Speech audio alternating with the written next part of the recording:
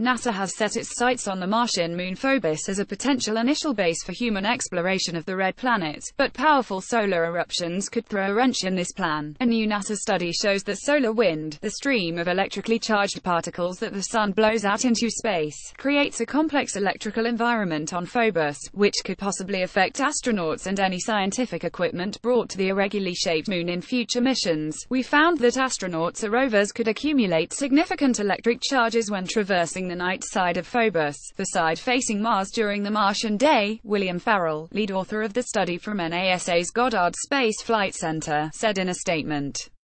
While we don't expect these charges to be large enough to injure an astronaut, they are potentially large enough to affect sensitive equipment, so we would need to design spacesuits and equipment that minimizes any charging hazard.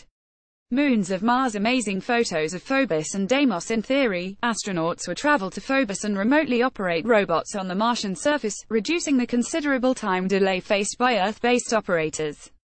NASA has considered Phobos as a possible initial base because its weak gravity makes it easier to land spacecraft, astronauts and supplies, according to the statement. A photo of Mars moon Phobos, taken by the high-resolution imaging science experiment HiRISE camera on NASA's Mars Reconnaissance Orbiter, credit NASA JPL-Caltech University of Arizona Phobos orbits incredibly close to Mars, and since it has no atmosphere and no magnetosphere it plows directly through streams of solar wind and absorbs the electrically charged particles on its day side. This, in turn, leaves a void over its night side. As a result, negatively charged electrons from the solar wind fill this void and statically charge the Moon's night side.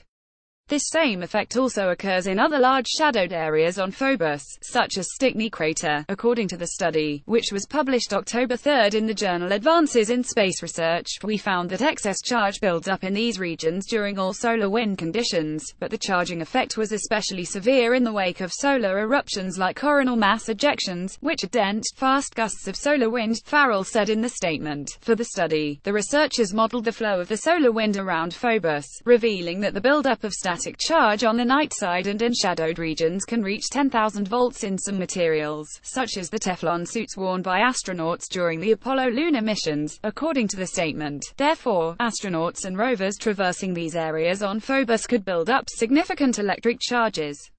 For example, friction created by astronauts walking across the nightside surface could transfer charge from the dust and rock to their spacesuits. Then, when the astronaut touches something conductive, like a piece of equipment, it could release the charge, similar to static shock experienced after walking across a rug and then touching a metal doorknob. Previous studies have shown that the same charging effect occurs in large shadowed craters in the north and south poles of Earth's moon. However, Earth itself has an atmosphere and a magnetosphere that defends against the effects of solar wind. Follow Samantha Mathewson at Sam. Ashley 13. Follow us at space.com, Facebook and Google. Original article on space.com.